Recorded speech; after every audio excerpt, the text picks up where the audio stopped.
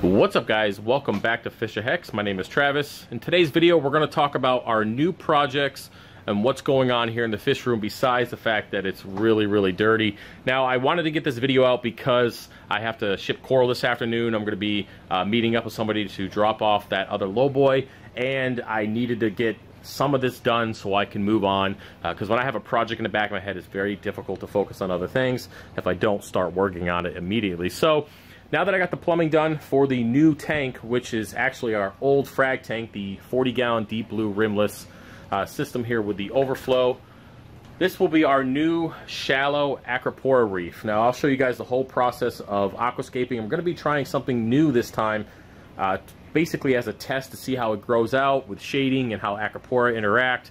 So when I have our uh, my new tank uh, here, when we replace the 300 gallon or upgrade from the 300 gallon, I'm going to be doing a different type of aquascaping because the one that I currently have in there is a huge pain in the ass, and we've talked about that in the last few videos. So, all right, this build here, it has no lighting over it. The reason for that is I'm pretty sure that I'm going to just put these four AI primes back over this tank and then put our Kessils over this because as I mentioned in the video I posted the other day, we're going to be doing a comparison on growth coloration and all that good stuff when we have either AI primes, Kessils, and then we had the Radions and T5s on the frag tank, I mean on the 300. So it's going to be good to get a comparison of how the same corals interact with different lightings in the same water column. So that's going to be a nice thing to check out over the, the next six months or so. Now, uh, when it comes to plumbing these two tanks, Granted, it's not pretty. I don't really like how the stands are interacting with each other, one sticking out more than the other. I mean, that kind of stuff bothers me, but uh, I didn't want to spend more money to build new stands and deal with that whole process, so it is what it is, and it serves a purpose. So when it comes to plumbing, we'll work our way back over. Let's go ahead and get to the sump here. It's going to be loud because I have to top off with water that I just mixed because of the new uh, flow pattern. But we have two Jebao DCS 12,000s. Now, if you guys remember, the one on the left is from the uh, frag system, which I upgraded to a Jebao DCS 18,000. And right off the bat, I'm just going to answer the question, why didn't I just buy another 18,000 or, or swap out the one on the frag tank since I'm not using as many low boys? Well, uh, for one, I didn't feel like swapping it out. I just didn't want to do the plumbing on that.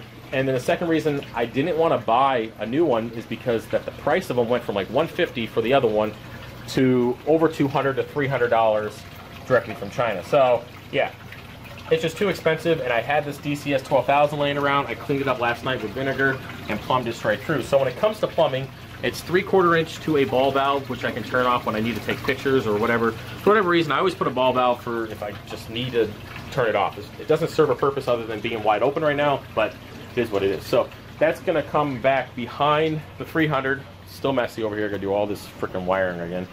Comes up through, tees off to another ball valve. Now, I do have barbs that were originally on this frag tank, so instead of buying new bulkheads, I saved a little bit of money. I just went ahead and continued the soft tubing and uh, went ahead and just plumbed it to a ball valve, which allows me to adjust the flow directly into the tank. And then the drain comes down as well uh, from the uh, tubing. So uh, that comes all the way through here, where it pops out to the end and we have another ball valve and the line goes up to that tank. So um, same thing, the tube comes back down to the drain and continues its way to the sump. Back over to our one input here. So it's full, I gotta change out the filter socks. I just cleaned a shit ton of them. So we swapping some of those out here once I get done with the video. But uh, yeah, so that's the plumbing for the system. I like having the second pump. Uh, a couple reasons. One, I love having an unlimited amount of flow to these two tanks and um, also being able to adjust the flow and not take anything away from the main display.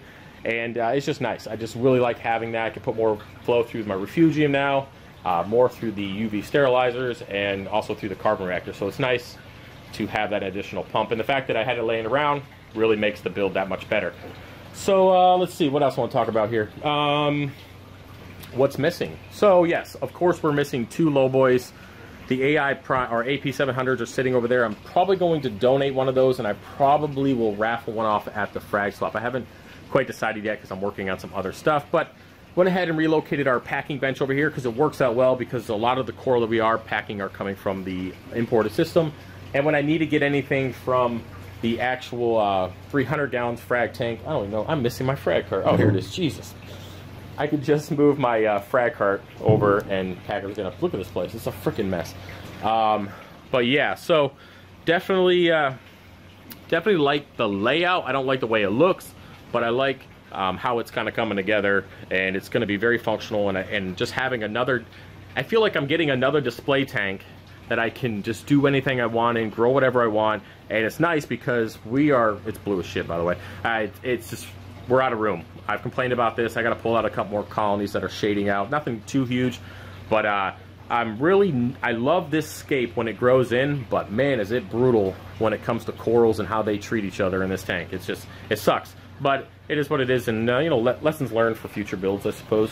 But uh, yeah, so this is my mess. Let me see if I can back up without stepping on too much. And uh, yeah, definitely uh, like how everything is turning out. And um, you guys should look forward to a video on the aquascaping probably Thursday or Friday. It's going to be in on Wednesday, most likely. It's shipped today. So yeah, probably here Wednesday.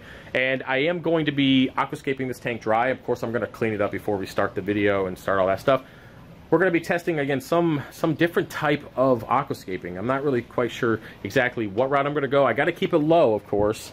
I got to keep it open. It's going to be bare bottom. Got to allow enough flow to get through there, but I also want to have the room for the corals to grow out and probably start coming out of the water. Just stepping on everything. But uh, yeah, that's it. That's my messy, messy, messy fish room. We are going to Ohio to do this tank for the Veterans Program next month definitely looking forward to that. Scott from Roscoe's Reef is going to help me uh, film everything. We'll get that together. It's going to be kind of, uh, oh, one day out, we'll leave in the morning. We'll go and uh, take care of that and then come back later in the afternoon.